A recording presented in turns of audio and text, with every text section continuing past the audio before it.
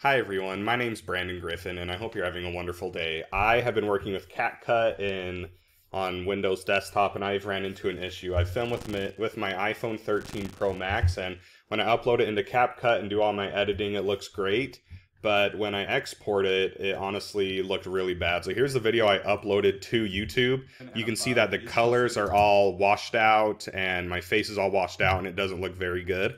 And here's the video that I was editing. The reliability score is 0.7. You can see, you know, these light greens and these light reds. So the issue is, for some reason with CapCut, it doesn't do well with HDR. So I did some researching and I found that you can change that. So make sure you click on this timeline out of all of the elements. Don't click on anything. Click out and hit modify.